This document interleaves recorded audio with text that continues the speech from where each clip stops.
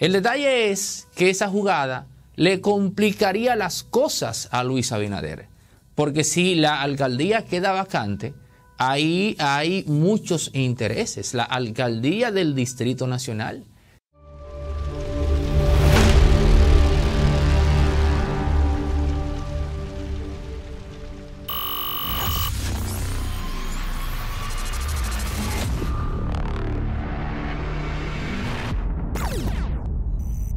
Conoce de la mano de Julio Lama y un servidor Total Life Change o Total Life Change, una experiencia de negocios que le ha cambiado la vida a miles de personas en toda América Latina y Estados Unidos. Escríbenos al 849-638-8652 y aparta tu cupo en una reunión presencial con Julio Lama y un servidor para que conozcas TLC o Total Life Change. Hipólito Mejía vuelve a ser tendencia en República Dominicana tras enterarse todo el país que se reintegró a Pepe Goico a las Fuerzas Armadas. Es importante recordar que en el año 2002-2003, justo cuando casualmente el gobierno de Hipólito Mejía llevaba una lucha contra la corrupción en el primer gobierno de Leonel Fernández, sustentada esa lucha contra la corrupción nada más y nada menos que por el mismo Danilo Medina, que por abajito le estaba pasando cosas a Hipólito Mejía, dato poco divulgado de la historia política dominicana, pero amén. El punto es que ese, justamente, ese escándalo que se suscitó en aquel entonces en el cual se involucró a la figura de Pepe Goico, lo que derrumbó la credibilidad que tenía aquella lucha contra la corrupción. Y traigo esto al presente porque se está buscando un gran escándalo de este gobierno para desacreditar ese relato de la justicia independiente. Pero el punto de este comentario no es ese. Simplemente no quería quedarme al margen de eso y traje un elemento del pasado al presente porque se pudiera repetir. Ahora, lo que no se repite, porque simplemente nunca ha cesado y ha continuado en el tiempo, es esa apatía que tiene Hipólito Mejía contra Leonel Fernández, a un punto de que ahora esa apatía se va a trasladar en el tiempo al linaje y usted dirá, bueno, Omar Fernández por un lado, ¿Se enfrentará acaso a Carolina Mejía? No. Tenga un poco de paciencia para revelarle por dónde va este matchup ahora que Hipólito Mejía pretende dejarle a su familia para que se encargue de la descendencia política de Leonel, comenzando con Omar. Dicen por ahí, me parece que la frase es de Séneca, que el rencor suele hacer más daño al recipiente que lo alberga que allí donde se pretende, se pretende lanzar. Y esto lo digo porque, por lo visto, a raíz de lo que nos ha llegado, ese sentimiento de apatía de Hipólito hacia Leonel Fernández continúa a un punto de que nosotros aquí revelamos hace ya un mes o dos atrás que el próximo paso de Carolina Mejía era la vicepresidencia de la República y que por lo tanto la reelección en la alcaldía, pues eso estaba en veremos, porque si se le garantizaba a ella la vicepresidencia, pues evidentemente soltaba eso en banda y le dejaba ese tema entonces a una familia X para colocar ahí a un candidato, el que sea, porque ya sabemos que David Collado cumplió con ese ciclo, pero precisamente ahí hay otro problema porque David Collado también está aspirando a ser el candidato vicepresidencial en el año 2024. Luego habíamos dicho que en la fuerza del pueblo se estaba barajando la posibilidad de lanzar a Omar Fernández no como candidato a senador, sino como candidato a alcalde. Y aquí es donde viene el lío. Aquí es donde viene la cosa.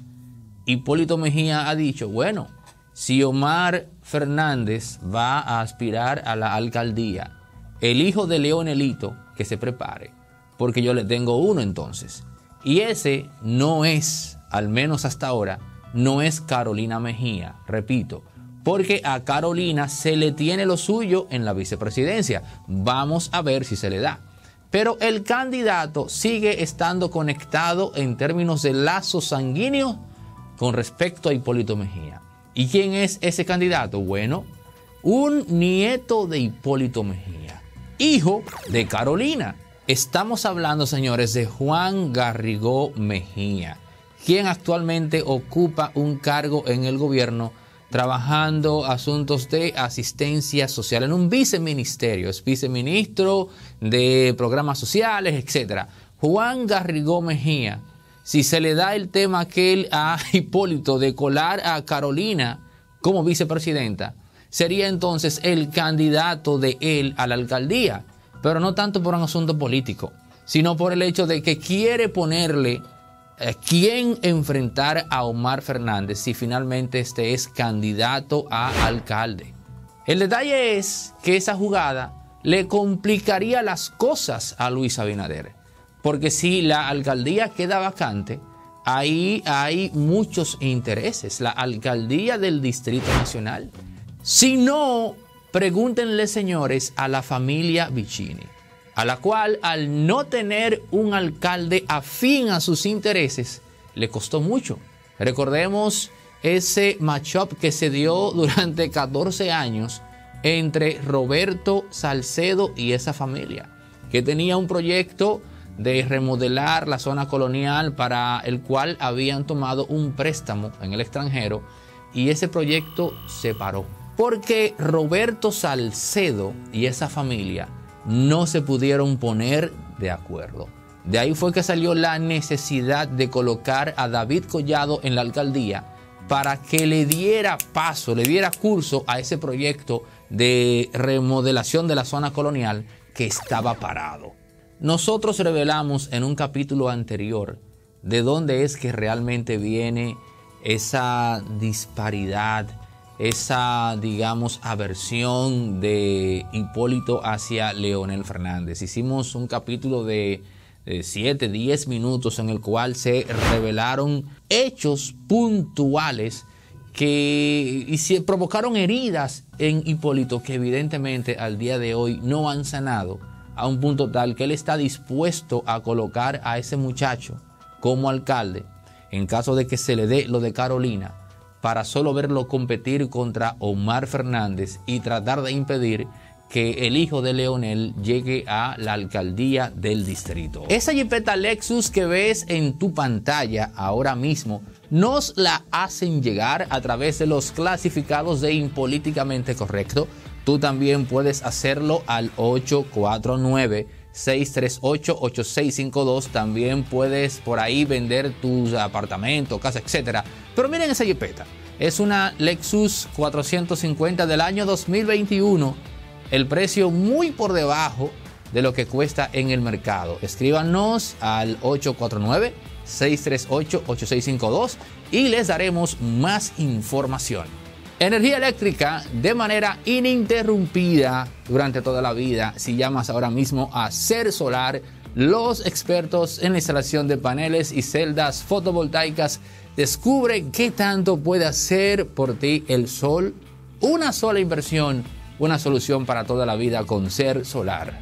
Farmacia Medicar GBC es la farmacia de los dominicanos muy pronto en Puerto Plata Aún tiene los medicamentos a un 20% de descuento y está abierta de lunes a domingo. Farmacia Medicar GBC, la farmacia de los dominicanos.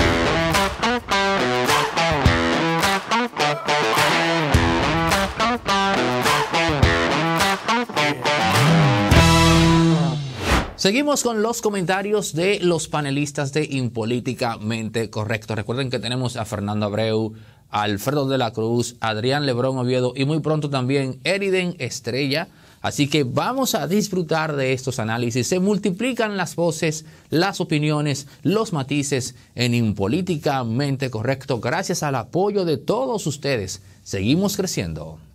Miren amigos, recientemente la Asociación de Pequeños eh, Comerciantes eh, denunció que el coordinador del Gabinete de Políticas Sociales eh, del Gobierno Dominicano, el amigo Tony Peña Guava, le había comunicado que existía la posibilidad de integrar a las grandes cadenas de supermercado a la tarjeta Supérate, ese programa que creó el gobierno dominicano para atender a la población vulnerable en momentos en que nos golpeaba el patógeno SARS-CoV-2 que produce eh, el COVID-19 convertido en pandemia, bajo el alegato de que precisamente en el año pasado, 2020 y 2021, eh, hubo eh, acciones poco dedicadas,